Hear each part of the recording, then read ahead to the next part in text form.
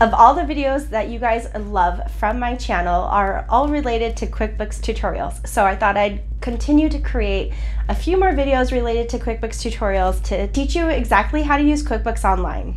Hello, my name is Edrina. I am the owner and accountant here at Accounting by Edrina. And in today's video, I'm gonna show you exactly how to adjust entries in QuickBooks.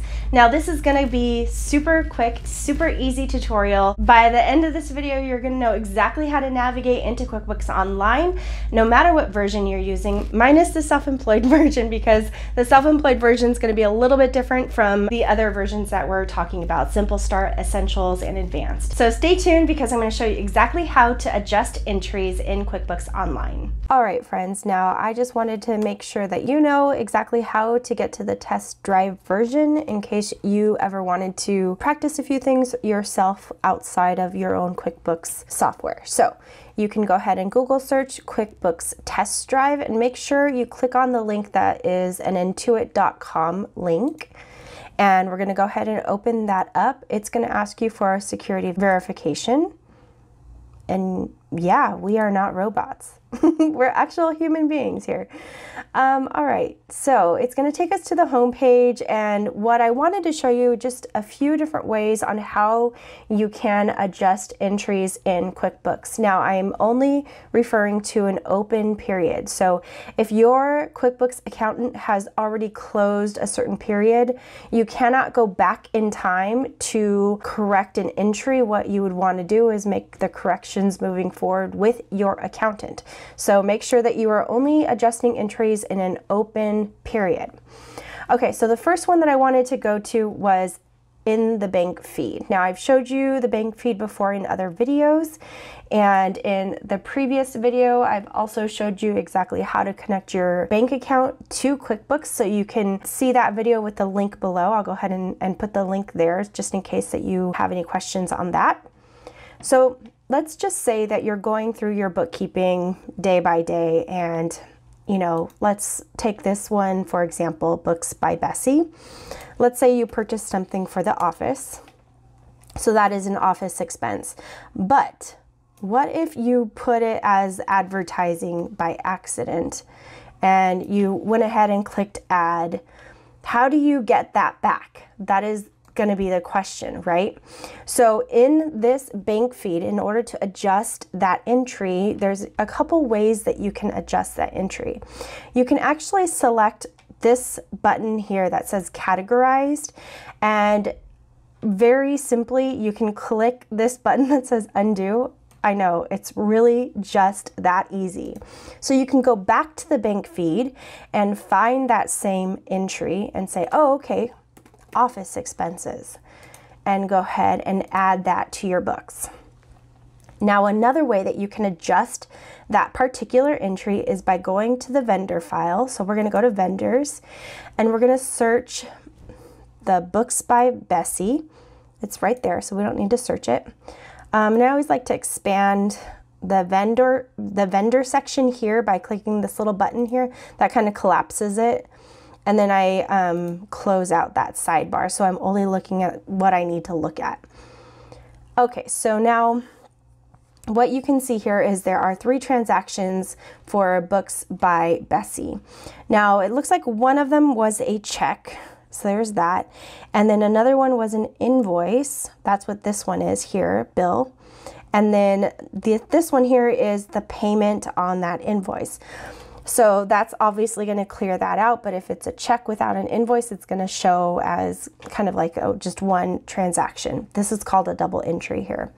So on the entry that is hitting your GL, that's hitting your general ledger in this category here. Okay, so it's saying books by Bessie was an accounting fee. Well, that's not an accounting, maybe it is an accounting fee, but it's, um, in our example, it's not an accounting fee here, but so we're gonna change that to office expenses here. So it's gonna allow you to do that in an open period, and it's gonna be that simple. And all you have to do is click on save and close. So it says this transaction is edit that you are editing is linked to others. Are you sure you want to modify it? So the other transaction, remember how I mentioned it's a double entry? It's linked to the other transaction and we're going to go ahead and click on yes and then it'll save it and we'll move on with our lives, right? However, if you needed to update that transaction in a closed period, you need to get with your accountant user in order to do that. All right, moving forward.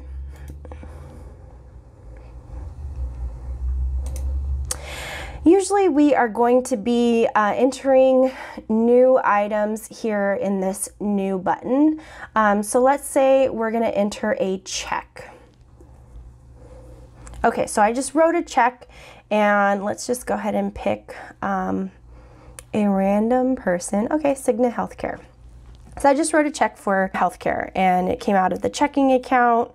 It's on today's date. There's the check number. And let's say that I had ended up putting this to workers' compensation. And let's say the amount is $500, save and close. And oh no, the screen closed. Where do I go back to get that information? So you can go back to the vendor file at, as I had showed you previously with the first example.